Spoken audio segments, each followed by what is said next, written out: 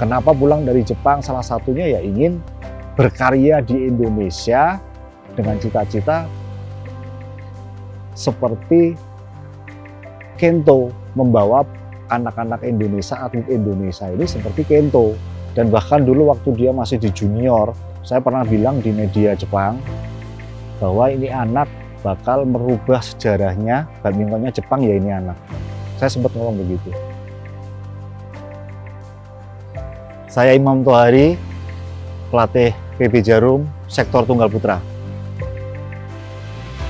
Jadi atlet profesional di Platnas itu dari 1995 sampai tahun 2001, jadi enam tahun ya. Nah sebelumnya kan di klub. Di Platnas itu di saya pemain ganda, ganda campuran dulu. Uh, prestasi tertinggi sih di peringkat 5 dunia sebelum berangkat ke Jepang itu coba-coba belajar pelatih mungkin dari privat dulu apa. Terus kayak kebetulan mungkin pas zaman main dulu kalau kejuaraan ke Jepang apa ya ada beberapa orang kenal di sana. Nah kebetulan ada kejuaraan di Indonesia. Nah waktu itu saya datang nah kok ada tawaran diajak ke Jepang buat ngelatih. Ya sebenarnya juga nggak pede juga mas ya karena ngelatih di sini kan belum serius banget. Cuma belajar nyoba-nyoba ternyata ada tawaran ngelatih di sana. Nah intinya ya di sana itu ya awal mula belajar melatih ya di Jepang itu sebenarnya. Jepang itu fokus di badminton. Nah itu banyak sekolah-sekolah yang memprioritaskan bulu tangkis sebagai olahraga mereka Nah, salah satu di eh, sekolah yang tempat saya melatih itu. Nah, waktu itu Momota juga eh, apa namanya ya, buat rebutan sekolah lain karena dia memang di tingkat pemula atau SD di sana itu dia eh, juaranya. Nah, kebetulan di tempat saya itu akhirnya anaknya sendiri juga pengennya masuk di uh, sekolah yang saya tempat saya ngelatih itu. Ya pertama kali saya melihat memang ada bakat yang beda dari teman-temannya ya. Karena uh, bukan standarnya anak-anak Jepang waktu itu dan dia di atas rata-rata memang kalau saya lihat. Nah di situ dari dari apa dari teknik pukulannya, dari cara mainnya dia itu udah kelihatan beda banget. Jadi memang sudah sudah ada bakat, Mas. Kalau kendala sih sebenarnya hampir tidak ada. Hanya cuma ada, ada satu waktu itu karena di Jepang sendiri tidak ada panutan. Maksudnya itu kalau di Indonesia kan banyak tuh legend-legend.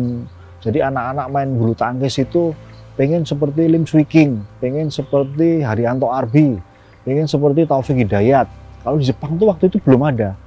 Nah, Makanya anaknya sendiri itu keyakinan untuk menjadi seorang pemain dunia itu sebenarnya susah sekali, Mas. Itu aja sebenarnya. Kalau dari masalah teknis, kemauannya dia, itu udah nggak ada masalah. Setelah absen itu, nggak, saya nggak kaget sama sekali. Karena saya tahu karakternya dia. Ya, dengan modal yang dia miliki dan karakter yang dia miliki, saya nggak kaget sama sekali.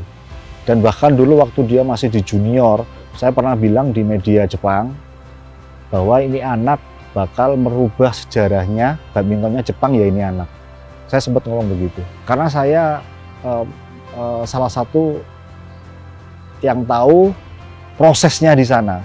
Jadi itu sudah disiapkan 10 tahunan lebih, Mas.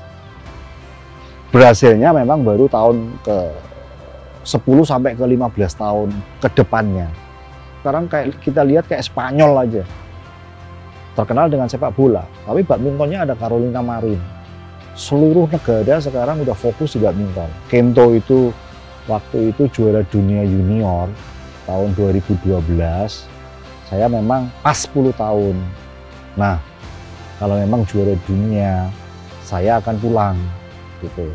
Nah, kebetulan pas pulang, Kebetulan juga di Indonesia Pak Kas PBSI itu pergantian pengurus.